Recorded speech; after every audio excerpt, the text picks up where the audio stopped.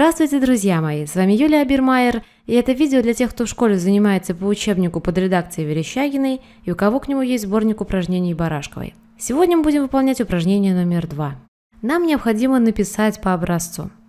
Читаем и переводим образец. A name – имя. Five names – пять имен.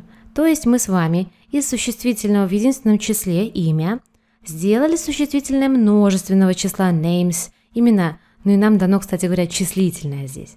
Ну что, давайте смотреть. A pig – хрюшка. Нужно сказать 9 хрюшек.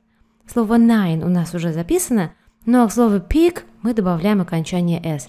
Получается nine pigs – 9 хрюшек. Артикль e во множественном числе не ставится. Следующее. A kitten – котенок. Five kittens – 5 котят. A sister – сестрица. Six sisters – шесть сестер. A bike – велосипед. Nine bikes – девять велосипедов.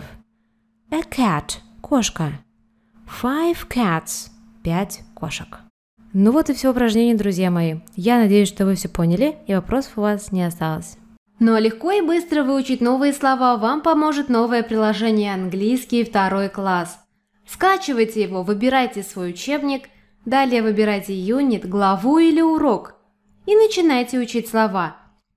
Вы можете выбрать свой темп или превратить список слов в видео с прекрасными картинками и четким произношением. Далее можно начинать тестирование. Выбирайте один из пяти тестов разного уровня и сложности и прокачивайте написание слов, перевод и аудирование.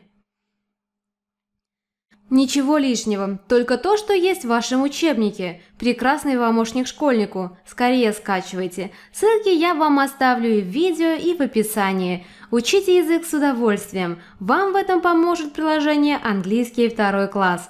Ну а с вами была Юлия Бермайер. До новых встреч!